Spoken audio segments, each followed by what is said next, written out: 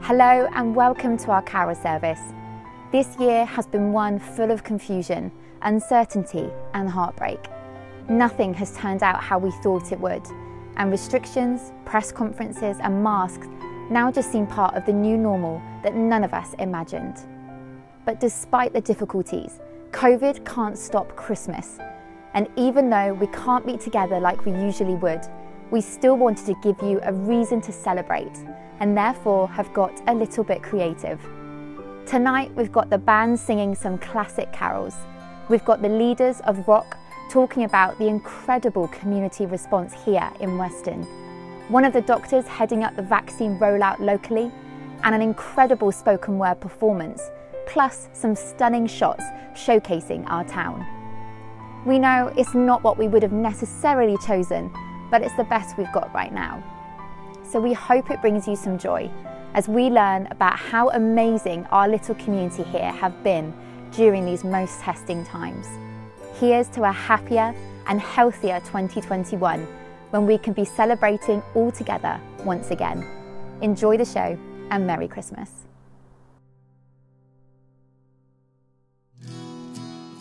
My name's Michelle Michael. I'm one of the directors at the Grand Pier in Weston-super-Mare. It's wonderful to be part of this carol service and I'd like to welcome you to the Grand Pier. Thank you for your support this year and we look forward to welcoming you back in 2021. Merry Christmas.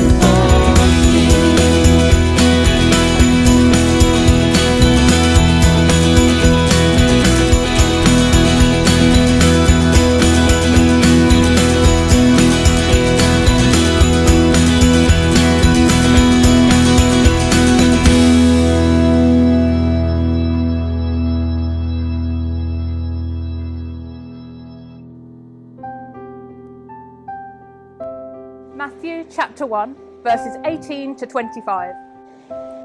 The birth of Jesus took place like this His mother Mary was engaged to be married to Joseph. Before they came to the marriage bed, Joseph discovered she was pregnant. It was by the Holy Spirit, but he didn't know that.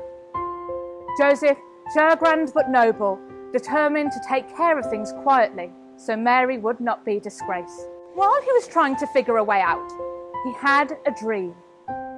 God's angel spoke in the dream Joseph, son of David, don't hesitate to get married. Mary's pregnancy is spirit conceived. God's Holy Spirit has made her pregnant. She will bring a son to birth, and when she does, you, Joseph, will name him Jesus. God saves, because he will save his people from their sins. This would bring the prophet's embryonic sermon to full term. Watch for this. A virgin will get pregnant and bear a son. They will name him Emmanuel, Hebrew for God is with us. Then Joseph woke up. He did exactly what God's angel commanded in the dream. He married Mary. But he did not consummate the marriage until she had the baby. He named the baby Jesus. Hi, everybody in Weston-super-Mare. Um, I'm Debra Green. I'm the founding director of the charity Redeeming Our Communities, ROC. And I just want to bring you greetings today at your carol service. We were formed in 2004, so we're 16 years old this year. And we are people of goodwill working together towards safer, kinder communities. The key benefit of ROC is that, that you ask the statutory body, the police, education, health, you ask them what is it that they need our community to do to help. And then we can galvanise and marshal all that goodwill in the community to work in collaboration with them and towards their aims and objectives. We started in uh, February with a conversation which was really a gathering of interested, like-minded people who uh, gathered together to hear from Debra Green. It was so fantastic to be with you in February for the ROC conversation and I know Penny and Dave, the action group leaders, will be updating you about what's been happening locally since that conversation. We had around 180 people participate which is incredible. And uh, through that, we came up with a number of ideas. But what happened next was, uh, as we all know, was COVID 19. And so, literally weeks after, we knew we were going into lockdown, and it was this unprecedented time. So, we worked with the council, with the town council, with helping people, with the For All Healthy Living Centre, and five church hubs and we basically together worked on a response to requests for help. We had about 120 volunteers across the five church hubs. We undertook, I would have said, about 3,000 acts of kindness over the eight, nine weeks of um, lockdown. Our network helps people have conversations about what they're doing and you learn and you can then contribute. One thing we did really here were the volunteers, people during lockdown um, people on furlough had the opportunity to volunteer who'd never volunteered before. So that's that's really one of the, the key things I think we want to try to build is, is kinder, safer and kinder communities in Weston and Worle. We want to encourage people to look out towards their neighbour and to you know do that in their own neighbourhoods um, with their own neighbours. It's all about changing our society for the better and I'm so delighted to be at the carol service. I wish I could be there in person by the sea, but I'm up here in Manchester where we get a lot of rain. But God bless you, have a wonderful time and thank you for being part of ROC. If you want to get involved, we're always looking for more volunteers. Um, the best thing is to make contact with us. Um, we'll put up our email and our Facebook page for people to make contact with and have a conversation with us. We're happy to talk to anybody.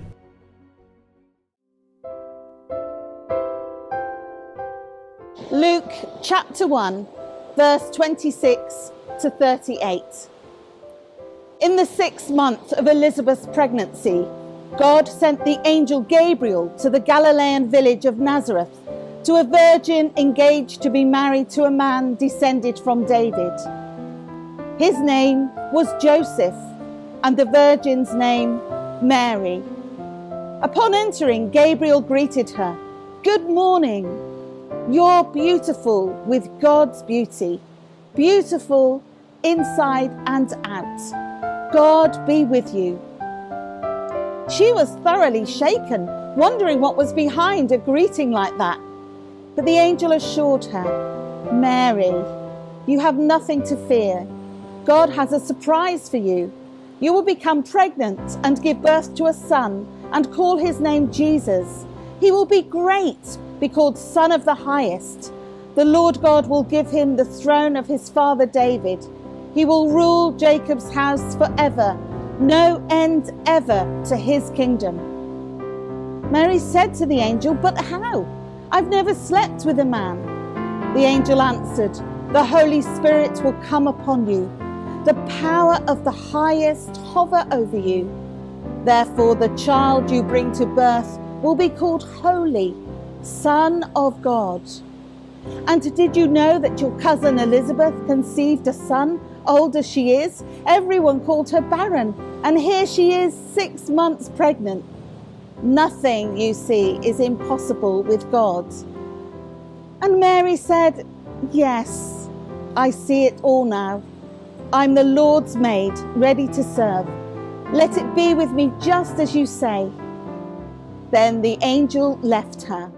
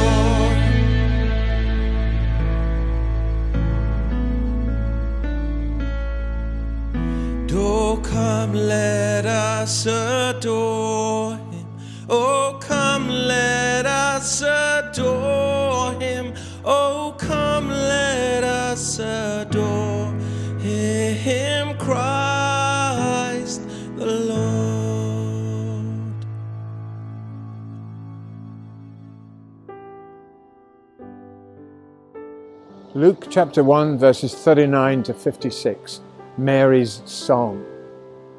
Mary didn't waste a minute. She got up and travelled to a town in Judah in the hill country, straight to Zachariah's house, and greeted Elizabeth. When Elizabeth heard Mary's greeting, the baby in her womb leapt. She was filled with the Holy Spirit and sang out exuberantly, You're so blessed among women and the babe in your womb also blessed. And why am I so blessed? That the mother of my Lord visits me. The moment the sound of your greeting entered my ears, the babe in my womb skipped like a lamb for sheer joy. Blessed woman who believed what God said, believed every word would come true.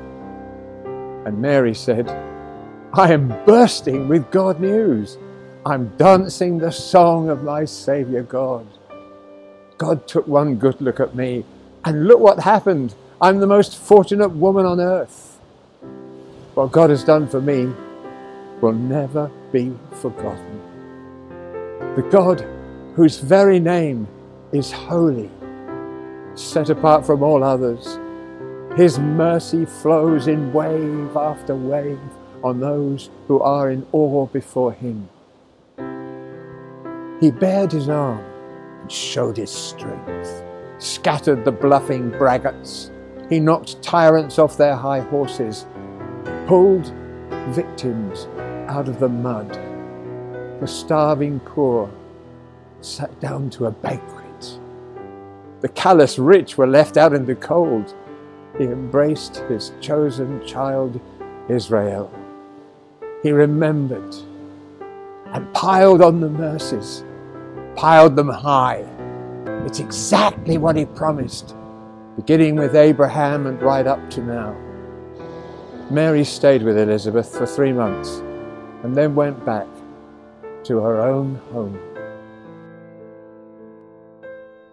Mary's song Luke chapter 2, verses 1 to 12. About that time, Caesar Augustus ordered a census to be taken throughout the empire. This was the first census when Quirinius was governor of Syria. Everyone had to travel to his own ancestral hometown to be accounted for. So Joseph went from the Galilean town of Nazareth up to Bethlehem in Judah, David's town, for the census. As a descendant of David, he had to go there he went with Mary, his fiancée, who was pregnant. While they were there, the time came for her to give birth. She gave birth to a son, her firstborn. She wrapped him in a blanket and laid him in a manger because there was no room in the hostel. There were shepherds camping in the neighborhood. They had set night watch over their sheep. Suddenly, God's angel stood among them, and the God's glory blazed around them. They were terrified. The angel said, Don't be afraid. I'm here to announce a great and joyful event that is meant for everybody, worldwide. A Saviour has just been born in David's town, a Messiah, a Saviour who is Messiah and Master. This is what you're to look for a baby wrapped in a blanket and lying in a manger.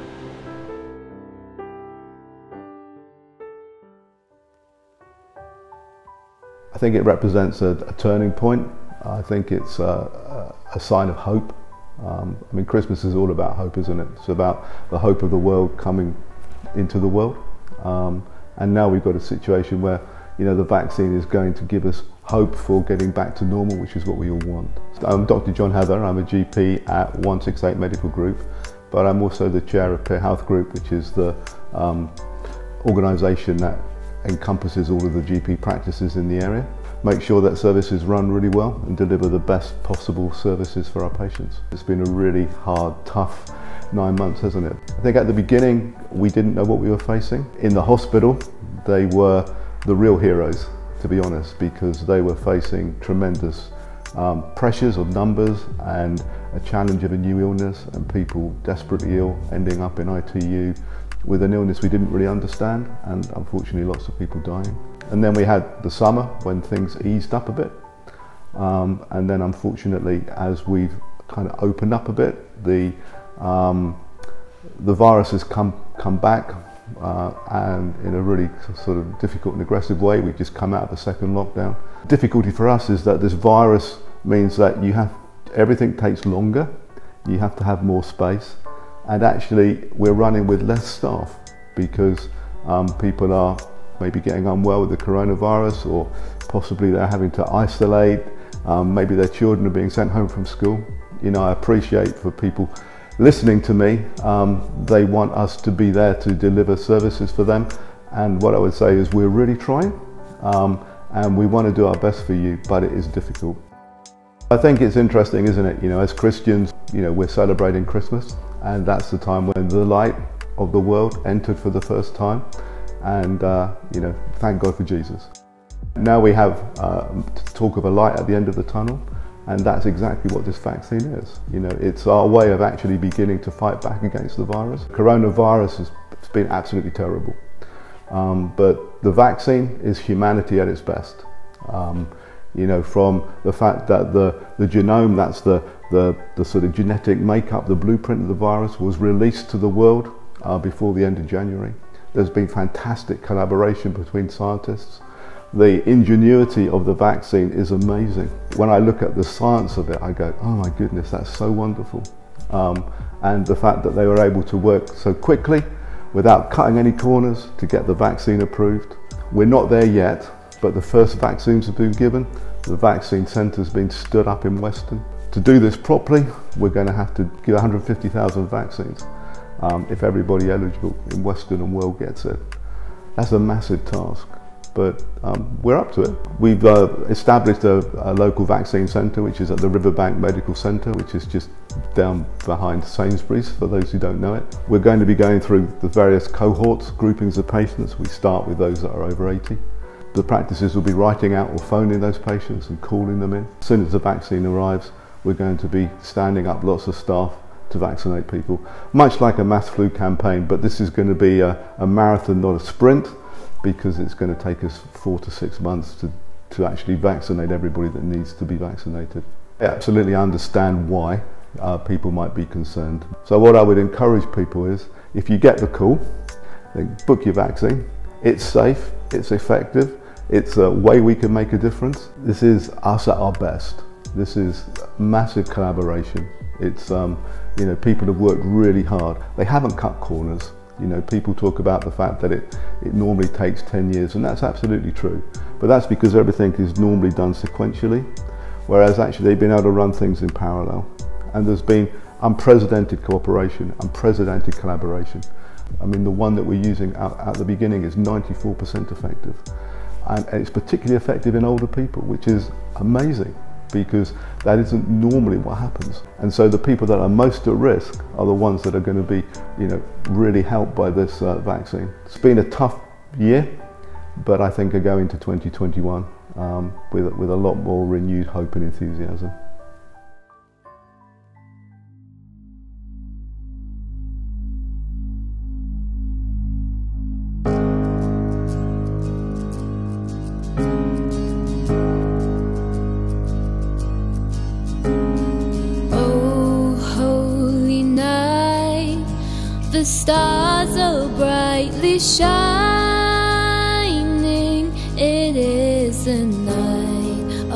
Of our dear Saviour's birth.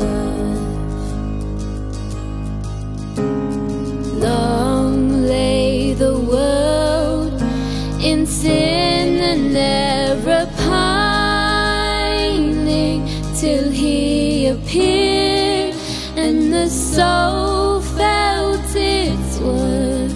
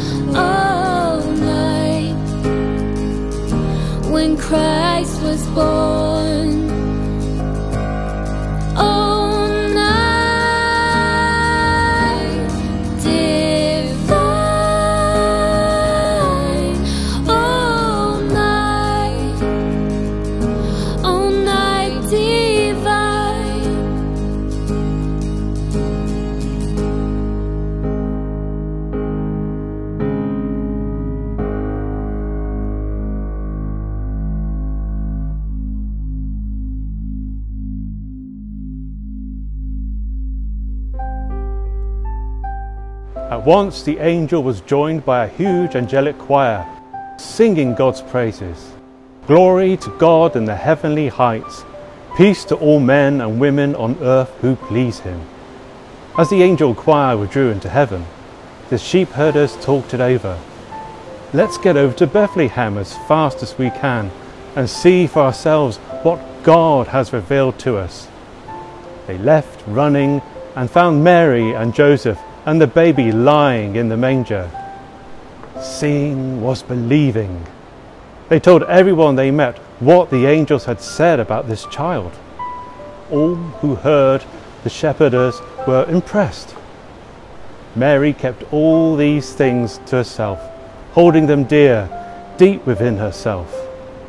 The sheep herders returned and let loose, glorifying and praising God for everything they had heard and seen. Turned out exactly the way they had been told.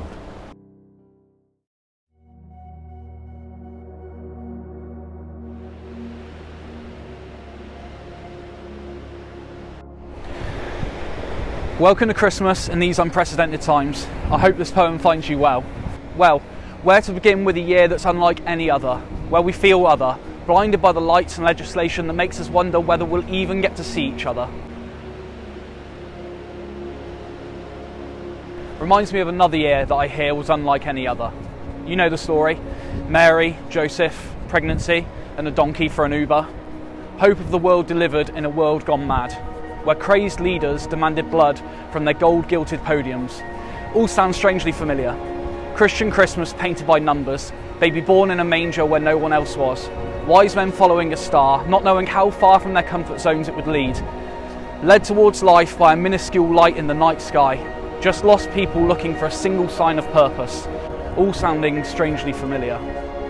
Our Christmas lists are filling up, our bank accounts are rounding down, our hopes and plans for Christmas misplaced and placed into some kind of cosmic lost and found.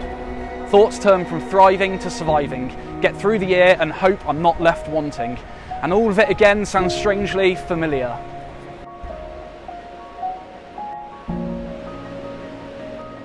So, what's with God's grand plan? All of creation's might might just be born into human form. Strength contained in weakness and all sounding strangely unfamiliar. God drawing near, not disregarding our fears, but instead showing us that Jesus had no problem coming here. God concocting a rescue to end all rescue plans that should have ended in disaster but now gives hope to man. Sending the best of him into the worst of us, maintaining that surprising balance between divinity and dust.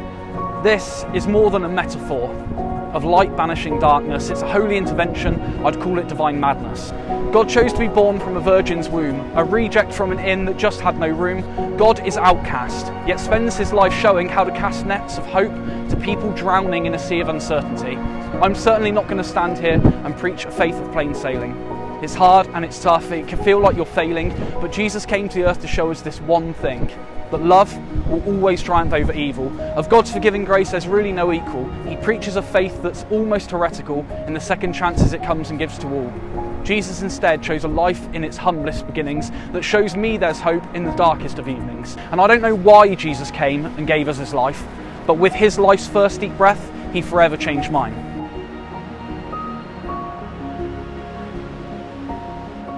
So, this Christmas I worship Him like I've got nothing left to give because I've given up pretending to be perfect and I'll never give in.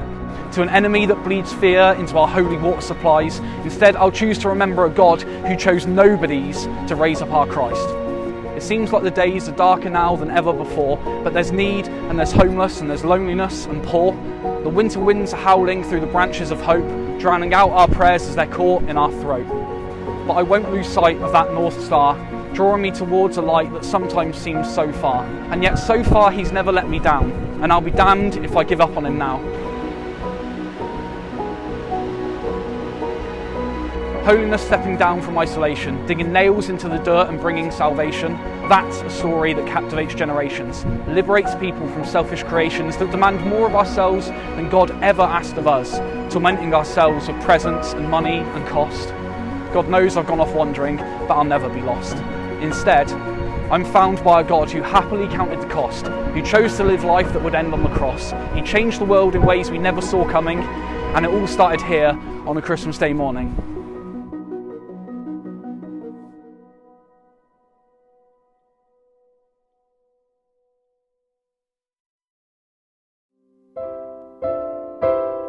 Matthew 2, verses 1 to 6. After Jesus was born in Bethlehem village, Judea territory, this was during Herod's kingship, a band of scholars arrived in Jerusalem from the east. They asked around, Where can we find and pay homage to the newborn king of the Jews? We observed a star in the eastern sky that signaled his birth. We're on a pilgrimage to worship him. When word of the inquiry got to Herod, he was terrified, and not just Herod alone, but most of Jerusalem as well. Herod lost no time. He gathered all the high priests and religious scholars in the city together and asked, Where is the Messiah supposed to be born? They told him, Bethlehem, Judea territory. The prophet Micah wrote it plainly It's you, Bethlehem, in Judea's land, no longer bringing up the rear. From you will come the leader who will shepherd rule my people, my Israel.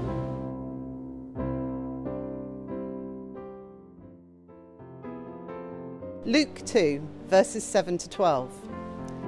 Herod then arranged a secret meeting with the scholars from the east. Pretending to be as devout as they were, he got them to tell him exactly when the birth announcement star appeared. Then he told them the prophecy about Bethlehem and said, Go find this child. Leave no stone unturned. As soon as you find him, send word, and I'll join you at once in your worship. Instructed by the king, they set off.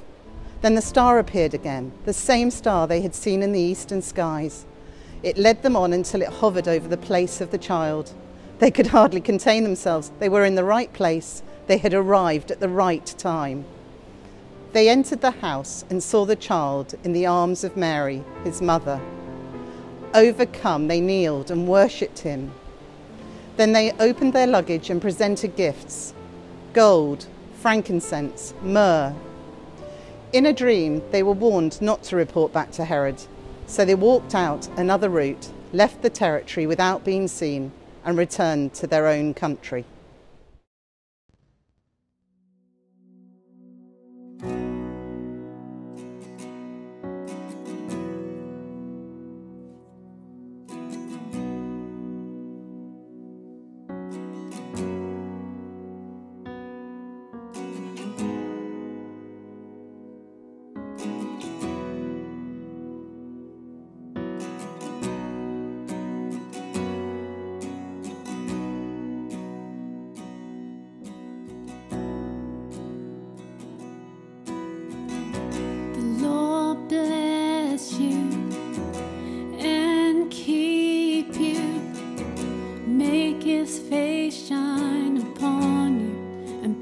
Hi, everybody, and it's good to see you. Um, we're from Locking Castle Church. My name's Tom, and this is Mims, and we're going to pray now together. So let's pray. As we come to a time of prayer for our town, nation, and community, we recall the words of Jesus, who said, In this world you will have trouble, but take heart, I have overcome the world. Heavenly Father, in a year where there's been so much pain, uncertainty, and difficulty, we pray for our community, town, and nation, that the peace and wonder of Christmas would lighten the darkness and bring joy and hope instead of despair.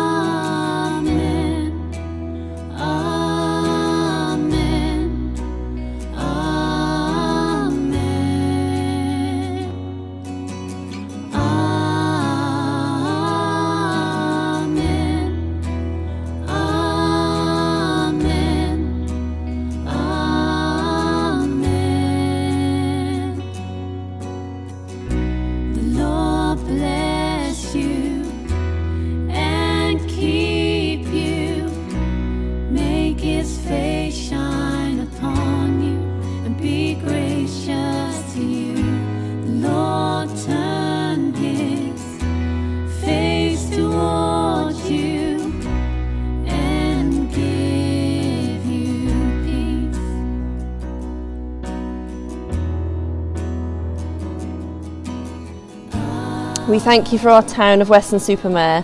We thank you for all those neighbours and friends who have pulled together during this pandemic and shown love and kindness to help each other through these difficult days.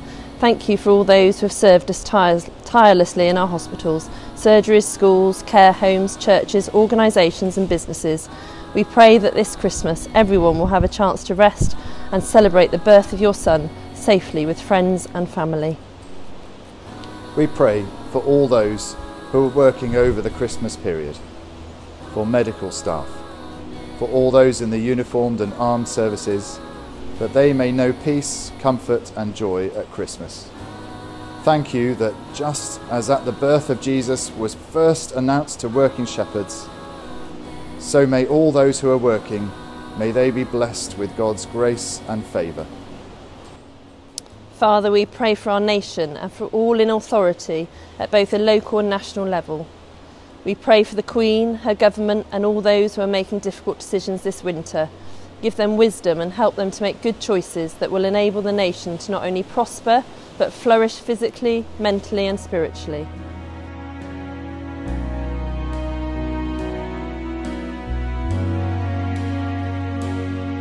May its favor be upon you and a thousand generations, and your family, and your children, and their children, and their children. May his favor be upon you and a thousand generations, and your family, and your children, and their children, and their children.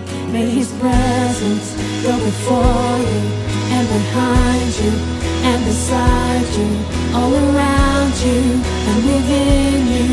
He is with you, he is with you in the morning, in the evening, in your coming and your going, in your weeping and rejoicing.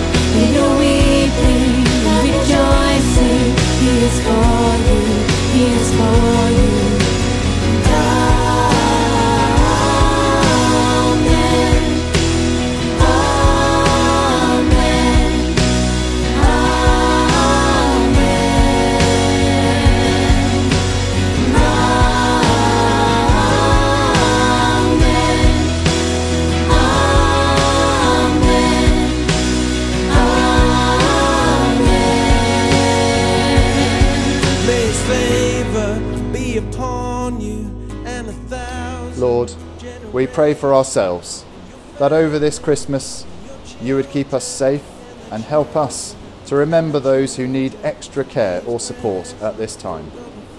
We pray for all those in our community who may be lonely, struggling, or isolated, and help us think creatively of ways to help them and bless them over this Christmas season. in the evening, in your coming and your going, in your weeping and rejoicing. He is for you, He is for you, He is for you, He is for you, He is for you, He is for you, He is for you, He is for you, He is for you, He is for you.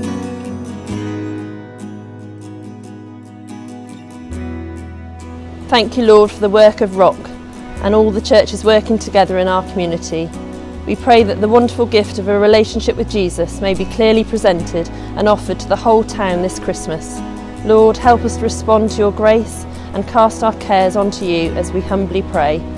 In the name of Christ Jesus our Lord. Amen. Amen.